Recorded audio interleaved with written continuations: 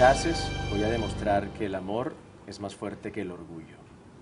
Tú y yo estamos destinados a estar juntos y no importa lo que pase.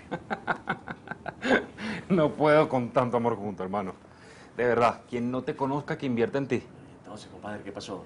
Mira, estas palabras se las escribió Franco a Antonia y calzan perfectamente para Pilar, para mí.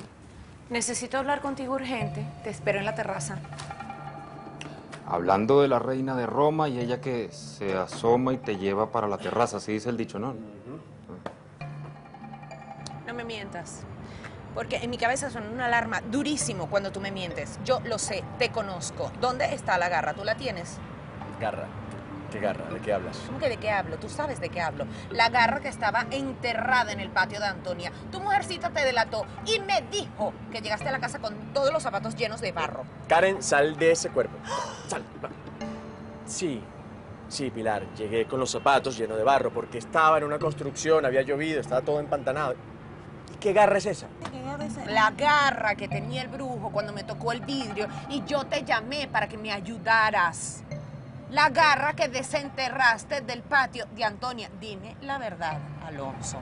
Tú estás averiguando la muerte de Antonia a mis espaldas. ¿Tú sabes qué he estado pensando? Que creo que quien mató a tu mamá fue su esposo. Claro. Se enteró que ella le estaba montando los cuernos con Franco y los mató a los dos. ¿No te parece? Me voy a quedar a vivir en esta terraza mientras tú te haces el loco y le aplaudes a los pajaritos para no decirme nada. Así que dime, ¿estás o no investigando la muerte de Antonia? Bonita, ¿qué gano yo con eso? Sí, es verdad, yo empecé a investigar eso contigo para ayudarte, pero me retiré porque tú me lo pediste. Y yo te amo demasiado como para contradecirte. Cállate, cállate la boca, cállate. Te llenas la boca de mastique, te la engrapas cada vez que se te ocurra hablarme de amor. Alonso, ya estoy harta de tu cursilería y de tus mentiras. No son mentiras, Pilar, porque sí, te amo.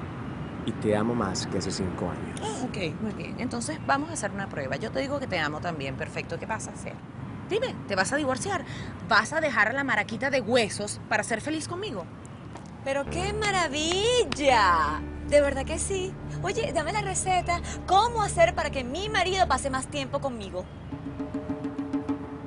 Bueno, Karen, yo realmente, siendo tú, aprovecharía este momento y por lo menos le preguntaría, ¿qué tengo que hacer, Alonso, para que me quieras un poquito, por lo menos un poquito, un poquito? Yo, tú, mi consejo es que por lo menos mínimo engordes 25 kilos.